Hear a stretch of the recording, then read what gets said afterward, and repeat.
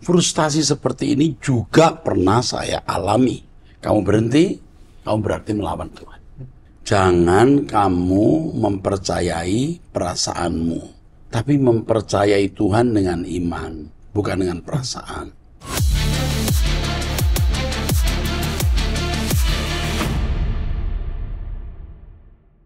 Shalom saudara, kembali kita mengikuti Abang.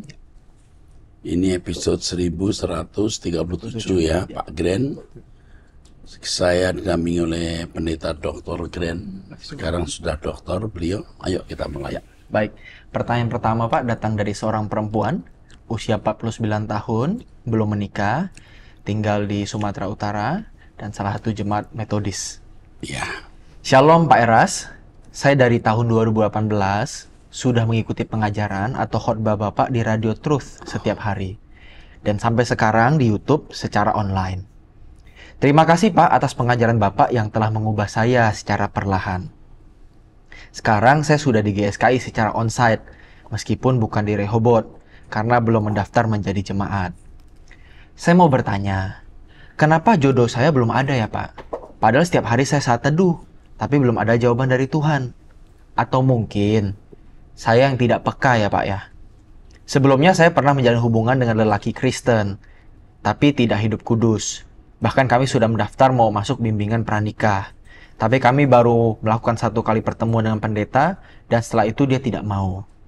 Sejak saat itu, saya tidak mau bersama dengan dia lagi. Bahkan saya sempat kecewa dan tidak mau melayani lagi. Seiring berjalannya waktu, saya jatuh lagi dalam dosa yaitu berteman dengan pria dari agama lain. Dia Muslim. Dari teman satu kerja, sudah beristri, dan dia mengajak saya menikah siri. Saya menolak karena tidak mau mengecewakan keluarga saya yang sudah lama menantikan saya menikah. Apalagi karena saya lari dari Tuhan Yesus. Pak, kenapa ya? Saya belum pernah mengenal orang Kristen yang benar-benar hidup kudus, mau menerima saya dan kehidupan saya. Apakah dosa turunan atau kutukan bisa terjadi pada saya? Karena salah satu dari keluarga mama atau papa ada yang tidak menikah. Pak Era, saya sedih dan merasa kesepian.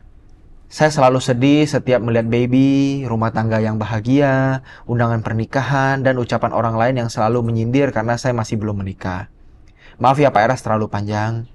Oh iya Pak, tanggal 14 Juli saya berulang tahun, mohon doanya ya Pak agar saya semakin bertumbuh dalam kerohanian. Saya ingin sekali bisa membawa sharing firman Tuhan, tapi saya tidak pandai merangkai kata-kata dan minimnya pengetahuan tentang Alkitab. Mohon dukungan dalam doa Bapak selalu ya. Saya ingin foto bersama Pak Eras karena wajah Bapak mirip seperti almarhum papa saya. Pak Eras sehat selalu ya. Kiranya semakin banyak jiwa-jiwa dimenangkan. Tuhan memberkati Bapak serta seluruh pelayan GSKI. Terima kasih Tuhan memberkati. ada satu yang membuat hidup kamu tidak tenang dan mungkin bisa mendukakan Tuhan. Kamu maksa diri menikah.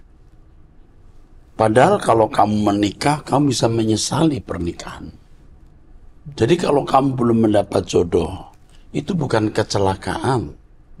Bukan keadaan sial, bukan karena Tuhan tidak mampu memberikan kamu teman hidup. Kamu harus mengetahui dan percaya dan mengalami dan membuktikan bahwa kebahagiaan kita karena Tuhan, bukan karena menikah, punya anak, punya baby. Kamu jangan memberhalakan keluarga atau berumah tangga. Itu yang penting. Jangan, nak. Ya. Kiranya Tuhan memberkati kamu di hari ulang tahunmu di tanggal 14 Juli itu. Dan satu hari kalau kamu ketemu saya dengan senang hati kita berfoto. Yuk pikirkan saja langit baru bumi baru. Dan berprinsip menikah itu tidak wajib. Nanti di langit baru bumi baru apa yang ada di bumi akan terulang. Kamu bisa menikmati nanti di kekekalan. Oke, cukup ya? Cukup. Amin. Teruskan. Baik. Masih dari seorang perempuan, usia 39 tahun di Nusa Tenggara Timur dan merupakan jemaat GSKI. Ya. Shalom Bapak Erso Sabdono dan tim Abam yang saya kasihi. Bapak, saya orang yang paling berdosa. Bahkan dosa yang dalam Alkitab ada pada saya. Hidup saya seperti duri yang melukai semua orang yang dekat dengan saya. Saya berjuang tapi gagal terus. Saya capek dengan diri sendiri. Mengapa untuk bertobat susah sekali ya Pak? Saking rusaknya, saya merasa hidup saya sudah terkutuk. Tetapi saya tetap pergi ke gereja dan mengikuti ibadah-ibadah yang ada. Saya merasa tidak layak di antara mereka. Tapi kalau saya tidak ikut semua ibadah yang ada, keadaan saya akan semakin hancur. Sebentar. Kamu orang yang haus dan lapar akan kebenaran. Frustasi seperti ini juga pernah saya alami. Tapi jangan berhenti berjuang. Ibrani pasal 12, dalam pergumulanmu melawan dosa, kamu belum sampai mencucurkan darah. Yesus sudah berdarah-darah demi bisa memberikan kita pengampunan, membenarkan kita, dan memberikan materai roh kudus. Berjuanglah terus. Jangan berhenti. Kamu berhenti, kamu berarti melawan Tuhan. Oke. Dengan segala perasaan yang tidak nyaman, yaitu malu, sedih, dan kecewa dengan keadaan ini, saya tetap berusaha. Saat ini saya ingin mau sendiri. Jadi takut bertemu orang dan takut melukai orang. Ketemu Tuhan itu susah sekali ya Pak? Enggak. Tidak susah. Karena jaraknya itu hanya setarikan nafas kita. Tuhan, sampai. Dan kita kan tarik nafas terus, berarti Tuhan tidak pernah lepas dari kita. Jangan kamu mempercayai perasaanmu. Tapi mempercayai Tuhan dengan iman, bukan dengan perasaan. Tuhan bisa kamu capai. Kamu temui kapan saja, di mana saja. Ya ini penting sekali kamu pahami. Saya punya prinsip yang bagus yang saya dapatkan ya, ya hari ini. Waktu saya di pesawat, saya doa, saya menyembah Tuhan, saya mulai mengucapkan satu kalimat. Masalahnya bukan di mana aku berada, kapan, dan dalam situasi bagaimana. Masalahnya adalah apakah aku bersama dengan Tuhan atau tidak. Dan Tuhan ternyata selalu bersama kita. Jadi nggak ada masalah. Setiap kali berbuat dosa, kau minta ampun. Tuhan mengampuni, Tuhan melupakan. Dosa lagi, Pak. Minta ampun lagi. Suatu kali kau pasti berhenti dari segala dosa. Ya. Oke. Jadi yang saya mau tanyakan Pak, apa saya masih bisa diubahkan dan dipulihkan? Kamu dipulihkan tiap hari. Ya. Sementara kamu bicara ini pun ada penyesalan dan Tuhan mengampuni kamu. Oke. Kenapa setiap kali saya bertemu hamba-hamba Tuhan, saya tidak sanggup berdiri? Padahal saya sudah doa minta ampun. Kamu lebih mempercayai perasaanmu dan tidak mempercayai firman. Firman Tuhan mengatakan Tuhan mengampuni kalau kita mengaku dosa dan Tuhan melupakan. Kalau Tuhan melupakan masa kamu sendiri tidak melupakan? Ya? Oke. Bu- bagaimana caranya saya bisa sembuh dari rasa bersalah, tidak mengampuni diri sendiri, luka dan kecewa? Sederhana saja, percaya apa yang firman Tuhan katakan. Misalnya begini, kamu punya utang kepada saya. Lalu saya berkata, udah anggap aja nggak punya utang lah, beres. Lalu kamu bilang, aduh maaf nih aku masih aku punya utang. Aduh sorry maaf ya pak, saya masih punya hutang. Aduh pak, saya kok begini ya. Loh, sudah dianggap selesai. Berarti kamu bisa tidak menghormati Tuhan dengan cara begini. Kamu menganggap Tuhan bohong. Ya, jadi kamu simpel saja. Percaya. Tuhan sudah mengampuni dan melupakan. Terus, Saya takut kalau pulang, nanti saya masih mengenggam dosa-dosa dan bukan jiwa-jiwa. asal kamu sebutkan dosamu, kamu akui, dihapus dengan darah Tuhan Yesus. Tuhan melupakan. Ya. Oke. Baik. Selanjutnya, dari seorang pria usia 38 tahun, sudah menikah, dikaruniai satu anak, tinggal di Jawa Timur dan merupakan jemaat gereja karismatik. Allah baik. Ya. Gereja Allah baik. Iya, itu Ya. gereja apa ya? Karismatik. Karismatik, oke. Ini Shalom. ketua sinodenya saya kenal. ya. Oh, oke. Atau foundernya malah. Foundernya. Dulu pernah satu kampus. Oke, Hmm. terus. Shalom Bapak Rohani yang kami hormati dan kasihi. Terima kasih sudah mendoakan anak kami. Kami mau menanyakan perihal pelayanan di komunitas remaja. Oh, nama anaknya pakai nama saya juga ya. Ah, ah. Oke, terus. Kami melayani remaja dengan baik, mendidik dengan memberikan contoh teladan ketika beribadah, seperti misalnya tidak main handphone waktu ibadah. Tetapi kami masih melihat remaja kami waktu diajak untuk bermasmur, menyembah dan memuji Tuhan, seperti melamun. Padahal gereja kami tergolong aktif untuk mengadakan acara seperti seminar, KKR, doa malam, komsel, dan lain-lain. Kami di gereja sebagai pembimbing remaja sering mendiskusikan hal ini. supaya remaja bisa ibadah dan mengalami perjumpaan dengan Tuhan secara real. Tapi tentu tidak semua remaja begitu. Jadi kalau ada yang begini, pasti dia bermasalah. Itu yang harus diperhatikan. Ya, jangan Anda berpikir semua remaja begitu. Ada yang demikian dan ini perlu penanganan khusus. Oke. Saat ibadah, lampu gereja agak diredupkan supaya mudah untuk fokus dan membuat suasana ibadah menjadi khusyuk.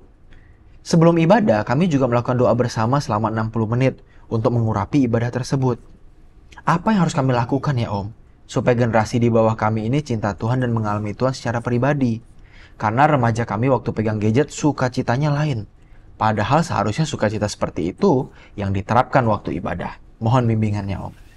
Kamu punya beban luar biasa. Kamu hamba Tuhan yang baik. ya Dan tetap menjaga kesucian supaya apimu tidak menjadi padam. Kita melihat bagaimana rusaknya remaja dewasa ini. Dan kamu rindu agar Tuhan hadir dan mengubah mereka. Jalan yang harus dilakukan oleh seorang hamba Tuhan seperti saya adalah kita harus hidup suci dan mengalami perjumpaan dengan Tuhan. Kita bisa merobek langit dan kehadiran Tuhan nyata dalam pelayanan kita. Kehadiran Allah di pertemuan. Yang kedua, kita membangun kesucian hidup dan persekutuan dengan Tuhan agar kita memiliki pancaran kehadiran Tuhan atau pancaran pribadi Allah dalam hidup kita. Dan itu yang akan membuat jemaat menemukan Tuhan di dalam dan melalui hidup kita. Ini yang paling prinsip. Yang ketiga, Roh Kudus akan pimpin bagaimana menanggap melayani remaja di tempat Anda yang pasti juga khusus dan masing-masing individu yang juga masih yang pasti khusus Roh Kudus yang pimpin. Hmm. Oke. Okay. Ya. Baik, selanjutnya dari seorang perempuan 66 tahun sudah menikah memiliki dua anak, tinggal di Jawa Timur dan merupakan jemaat gereja Pentakosta. Shalom Pak Erastus, saya mau bertanya karena ada yang bertanya kepada saya tentang monoteisme. Tapi rupanya jawaban saya kurang memuaskan dia. Pertanyaannya demikian. Ketika kita memuji, menyembah dan berdoa, kita tujukan kepada Bapa atau Tuhan Yesus? Mestinya kepada Bapa karena dari dulu memang Yahweh itu tujuan penyembahan kita. Tapi ingat kita tidak mungkin bisa menyembah Bapa tanpa melalui Yesus sebagai juru syafaat. Maka sikap hormat kita pun juga ditujukan kepada Yesus. Dan sering saya menyembah kepada Bapa dan Tuhan Yesus bersama-sama. Terus saya menjawab, bisa kepada dua-duanya kepada Bapa dan Tuhan Yesus. Lalu dia bertanya lagi, kalau begitu apakah ada dua Allah atau penguasa di surga? Sedangkan monoteisme mengakui hanya ada satu. Ya Jadi, memang Allah itu satu, yaitu Allah Bapa itu. Yesus menjadi Tuhan yang dipercayai Allah Bapa nanti suatu hari akan memerintah jagat alam semesta ini. Nah, kalau begitu ada dua Allah kan gitu. Mm -hmm. Nah, kita harus jelaskan apa itu Allah. Hmm. Allah itu Elohim ya, itu artinya penguasa, hakim. Itu paling dominan pengertian kata Elohim. Hmm. Elohim di atas semua Elohim itu Yahweh, Allah Bapa. Yang punya kuasa. Yang namanya punya superlatif. Hmm. Yesus apakah Allah? Iya. Karena Yesus punya hakikat sifat seperti Allah. Kita pun juga harus punya sifat hakikat seperti Allah hmm. atau kudrat seperti Allah. Karena kita anak-anak Allah. Hmm. Allah, anaknya pasti Allah. Dalam arti sifatnya, moralitas kesuciannya. Hmm. Tapi superlatifnya, kuasanya hanya dimiliki Allah Bapa atau dimiliki orang yang kepadanya Allah memberikan kuasa itu dan Yesus menerima kuasa itu. Hmm. Jadi Allah Yahweh itu maha tinggi, satu-satunya Allah dan Yesus satu-satunya Tuhan yang diberi kuasa oleh Allah Bapa. Jadi ada dua Allah. Nanti orang percaya pun kalau memiliki sifat-sifat Allah jadi Elohim, Elohim. Jadi hakim-hakim jadi pemerintah penguasa-penguasa maka di surga itu ada tata dan tata-tata. Yesus juga berkata, kamu akan menghakimi bersama dengan aku. Elohim itu hakim, tapi tidak menerima kuasa dari dirinya sendiri. Bapak yang memberikan kuasa itu. Cukup jelas? Cukup jelas. Bisa menambahkan? Cukup, Pak. Cukup ya. Jadi kalau begitu ada dua Allah, dia nggak ngerti pengertian Allah itu apa. Hmm. Allah Udah ruwet banget nih selama ini. Betul. Ya. Sedangkan monoteisme mengakuinya ada satu Allah. Iya, yang punya kuasa itu hanya Allah Bapa. Engkau lah yang punya kuasa, kemuliaan kerajaan. Ini satu, bukan rame-rame. Iya. Kuasa ini diberikan kepada Yesus yang karenanya Yesus berkata, segala kuasa di surga di bumi diberikan padaku. Iya. Itu bukan karena Yesus telah punya sendiri, dia punya dari Bapa. Dia bukan sudah punya sebelumnya, dia tidak punya sebelumnya. Baru setelah bangkit dari kubur, dia diberi nama di segala nama, juga menjadi Tuhan. Itu pun baik kemuliaan Allah Bapa. Ya. Oke, teruskan. Daripada saya menjawab tidak tepat atau salah, itu sebabnya saya bertanya ke Pak Eras saja sebagai penemu pengajaran monoteisme. Maaf ya Pak, karena masih sulit bagi saya untuk menjelaskan ke orang lain secara detail. Meskipun secara pribadi saya menerima ajaran Pak Eras karena ajaran Bapak telah mengubah mindset dan hidup saya secara pribadi. Terima kasih untuk jawabannya. Tuhan Yesus memberkati Bapak beserta keluarga. Sebenarnya ini tidak bisa dijelaskan cepat. Karena orang sering bertanya dari perspektifnya atau dari premisnya atau dari anggapannya. Dia bertanya dari satu dasar atau landasan berpikir yang salah. Kalau begitu ada dua Allah dong. Nah Allah itu apa dia belum tahu. Yesus itu Allah amin, tapi bukan Allah Yahweh. Karena Yahweh itu hanya satu. Dia yang punya segala kuasa, kerajaan, dan kemuliaan. Betapa rumitnya ya. Iya. Menjelaskan ke orang udah lama terbelenggu dengan monoteisme yang terbelenggu dengan monoteisme yang salah. Monoteisme trinitas. Yang benar itu monoteisme biblical atau alkitabiah. Bahwa Allah itu esa satu, hanya satu Yahweh. Yesus adalah Allah, iya. Sifatnya sama dengan Bapa. Sifat. Tapi bukan Yahweh. Dan Yesus tidak menerima, tidak memiliki kuasa kecuali Bapa yang memberikan. Jadi kalau itu ada Allah, dua Allah. Jangankan Yesus. Orang percaya pun jadi Elohim Elohim. Sebab Yohanes 10:34, Yohanes pasal 10 ayat 34 mengatakan kepada siapa firman itu menjadi egeneto, dia jadi Elohim. Ngeri sekali ya ngomong begini. Nah, tapi Alkitab berkata begitu kok. Gimana? Oke, teruskan. Oke, baik. Selanjutnya, dari seorang pria 48 tahun, sudah menikah, memiliki tiga anak di Jawa Timur, dan merupakan satu jemaat gereja Pentakosta. Ya. Shalom Bapak Rohaniku, saat ini saya tidak sedang mau bertanya, tapi mau berterima kasih kepada Pak Eras atas tuntunan Pak Eras. Di setiap doa pagi, Pak Eras mengajak kita untuk doa pribadi dan menyampaikan kepada Tuhan khususnya pergumulan yang paling mendesak. Kebetulan Pak, ada satu pergumulan yang amat mendesak, yaitu anak saya yang kuliah di salah satu universitas di Malang, jurusan hukum. Tepat di bulan Maret kemarin, dia terpaksa harus mengambil cuti karena menunggak sejumlah pembayaran. Tadinya Pak, saya sudah bilang ke anak saya untuk berhenti saja kuliahnya dan tahun depan daftar lagi. Tetapi dari bagian penerimaan mahasiswa di tempat anak saya yang berkuliah itu memberikan solusi. Sebaiknya urus surat cuti dulu sampai bulan Agustus 2024 sehingga anaknya masih tetap terdaftar. Jadi ada kesempatan yang cukup untuk melunasi tunggakannya. Tapi Pak Era sudah memasuki bulan Juli, saya belum dapat mengumpulkan uang tersebut karena saya juga harus membiayai sekolah kedua adiknya yang masih SD dan SMP. Saya sempat berencana untuk menjual sepeda motor, tapi puji Tuhan Pak Eras, mantan bos saya di tempat kerja saya dulu salah satu catering terbesar di Indonesia. Saya bekerja 17 tahun di situ. Tapi karena ada persoalan rumah tangga, sehingga tahun 2017 saya minta berhenti. Berapa waktu lalu mantan bos saya itu datang ke tempat saya bekerja untuk menemui saya. Selama 20 menit kami mengobrol dan dia bertanya tentang keadaan anak-anak saya, termasuk yang dia tanyakan keadaan anak saya yang kuliah. Saya sampaikan apa adanya, Pak, bahwa anak saya cuti sampai bulan Agustus karena menunggak. Ketika mantan bos saya berpamitan pulang dan menuju ke tempat parkir, mantan bos saya bilang begini, "Kamu bisa bantu saya?" Lalu saya menjawab, "Bantu apa, Pak?" Tolong kamu kirimkan ke saya nomor rekening kamu, saya bantu melunasi tunggakan kuliah anak kamu. Saya nangis, Pak Eras. saya langsung dipeluk sama mantan bos saya itu. Tapi Pak Eras karena saya tidak punya nomor rekening, akhirnya beliau menunggu saya pulang kerja dan dia datang ke tempat saya tinggal membawa uang sejumlah lebih dari tunggakan anak saya.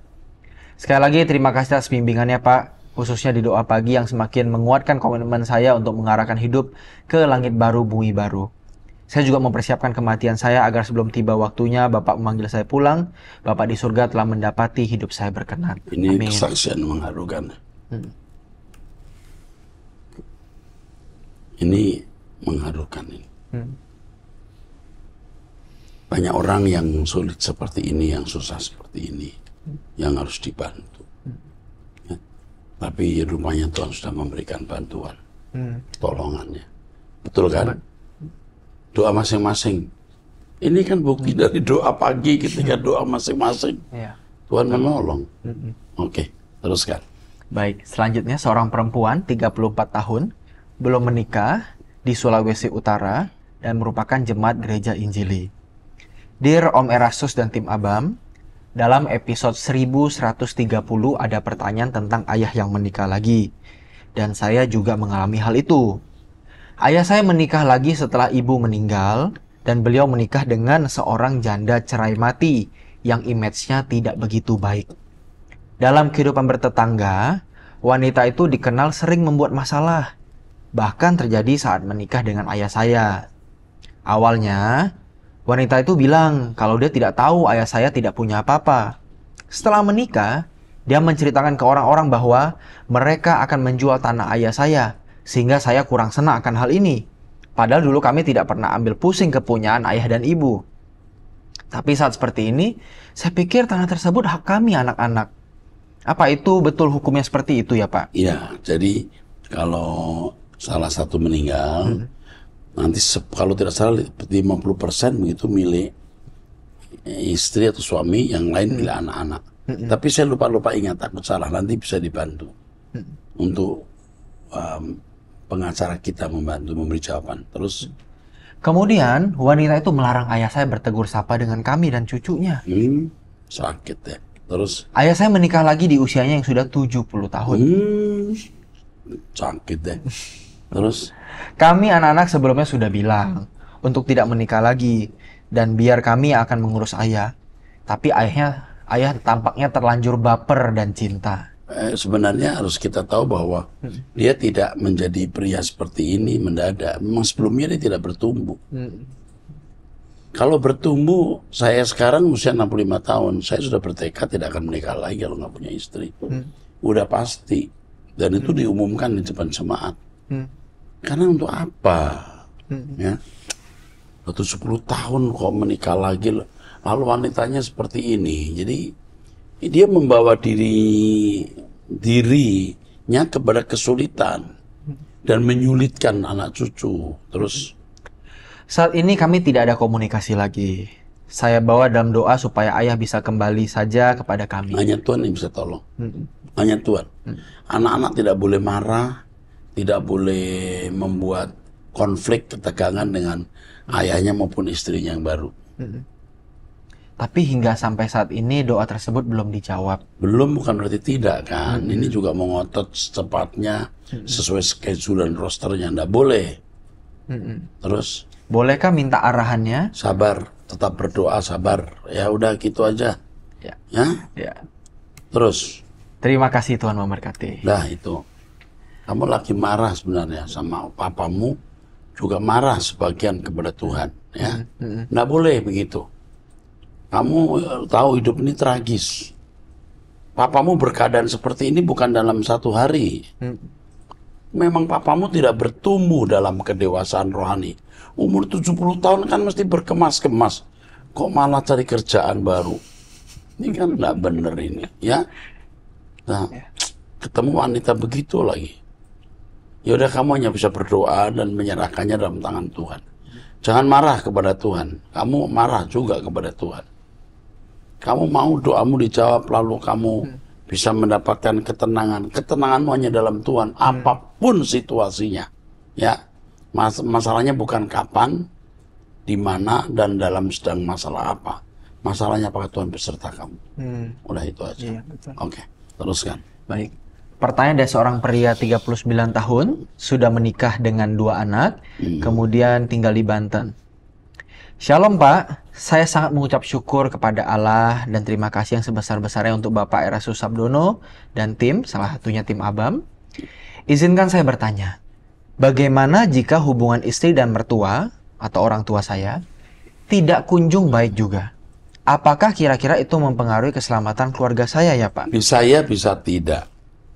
Sekarang tergantung siapa yang mem, siapa yang jahat atau siapa yang menyakiti dan siapa yang mengampuni dan sebagai korban.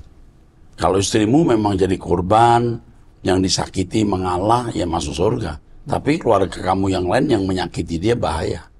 Atau sebaliknya kalau istrimu yang mengancam, menyakiti, melukai dan keluarga besarmu yang jadi korban ya bahaya istrimu. Oke.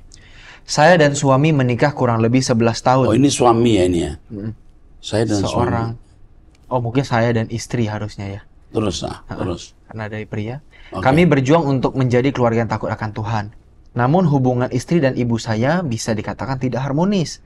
Tahun demi tahun saya terus berharap agar istri saya bisa menerima kedua orang tua saya yang usianya sudah cukup tua. Jadi tentu banyak kekurangan. Ketika orang tua sedang di rumah, istri cenderung menjauhkan anak-anak kami. Tidak menyapa sampai ibu saya sempat merasa sakit hati. Ayah dalam kondisi stroke dan tidak mau makan di rumah. Ya karena istrimu sakit. Istrimu itu sakit nak. Kok begitu loh sama orang tua? Tapi kamu harus bisa memenangkan dengan perilaku kamu yang baik terhadap istrimu. Sayangi dia dan perilakumu yang baik kepada mertuamu, orang tua istrimu. Tunjukkan bagaimana seorang menantu mengasihi mertua. Saya sudah coba mempertemukan ibu dan istri saya agar mereka menyelesaikan masalah dan saling Tidak bisa kalau belum siap jangan dipertemukan.